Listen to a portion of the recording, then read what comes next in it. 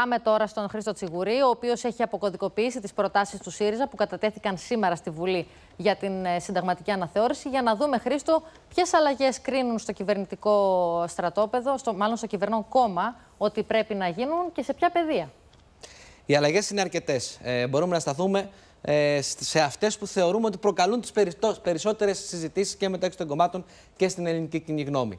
Α ξεκινήσουμε από την ε, προσπάθεια ε, ενδυνάμωσης, κατοχήρωση της θρησκευτικής ουδετερότητας του κράτους. Ποια είναι τώρα η διατύπωση στο άρθρο 3. Επικρατούσα θρησκεία στην Ελλάδα είναι η θρησκεία της Ανατολικής Ορθόδοξης Εκκλησίας του Χριστού. Η πρόταση είναι η ελληνική πολιτεία είναι θρησκευτικά ουδέτερη. Επικρατούσα θρησκεία στην Ελλάδα είναι η Ορθόδοξη Εκκλησία. Ε, και όταν λέμε επικρατούσα θρησκεία, εδώ θα μπει μια ερμηνευτική διάταξη που θα ξεκαθαρίζει ότι δεν πρόκειται για επίσημη κρατική θρησκεία και ότι αυτή η θρησκεία, η επικρατούσα, δεν έχει καμία δυσμενή συνέπεια, ο χαρακτηρισμός αυτός εις βάρος άλλων θρησκευμάτων. Μπορούμε να δούμε μια δεύτερη αλλαγή που είναι αυτή για τον πολιτικό όρκο. Είναι υποχρεωτικός ο πολιτικός όρκος με βάση την πρόταση. Α δούμε τον όρκο που δίνει ο πρόεδρος της Δημοκρατίας. Τώρα αναφέρει: Ορκίζομαι στο όνομα της Αγίας και Μοούσιου Τριάδο να φυλάσω το Σύνταγμα και τους νόμους.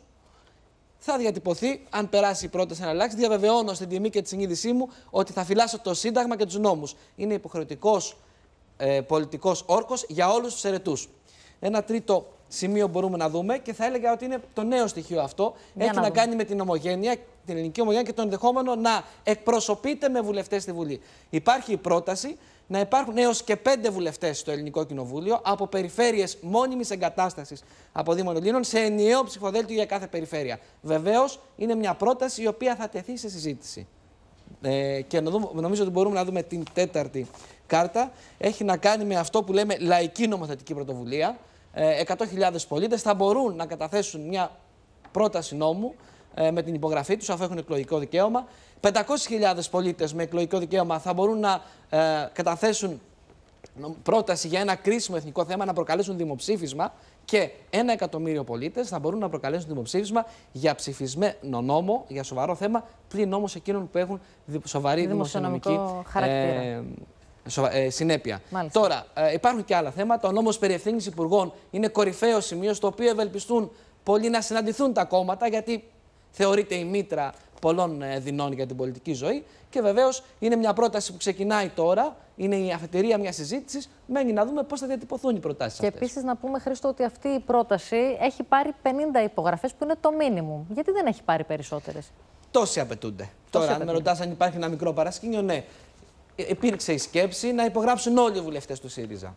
Όμως η προσεκτική διατύπωση για τον διαχωρισμό, για τους διακριτούς ρόλους Εκκλησία-κράτου ήταν αυτή που μάλλον οδήγησε κάποιους βουλευτές που ήθελαν μια πιο τολμηρή διατύπωση απέναντι στην Εκκλησία, όπως ο Νίκος Φίλτς αλλά και άλλοι, να μην υπογράψουν όλοι. Να ευχαριστώ πολύ τον Χρήστο Τσιγουρή.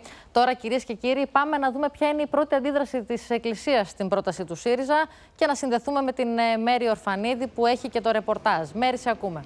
Στασία αναμονή κρατούν α, ε, στέλα, κυρίες και κύριοι ιεράρχες, και αυτό γιατί η φράση Η ελληνική πολιτεία θα είναι θρησκευτικά ουδέτερη τους προβληματίζει.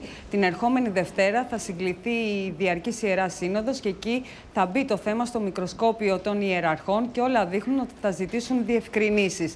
Οι ιεράρχες, Στέλλα, κυρίε και κύριοι, θέλουν να ξέρουν ακριβώς τι σημαίνει πρακτικά το ουδετερόθρησκο κράτος σε θέματα που αφορούν την προσευχή στα σχολεία ή τις εικόνες στι δημόσιε υπηρεσίε. Σε κάθε περίπτωση, η Εκκλησία δεν επιθυμεί να μπει στο περιθώριο το θρησκευτικό φρόνημα των πιστών της, όπως αυτό εμφανίζεται μέσα στην καθημερινότητα. Στέλλα. Μέρη Ορφανίδη, να σε ευχαριστήσουμε πολύ.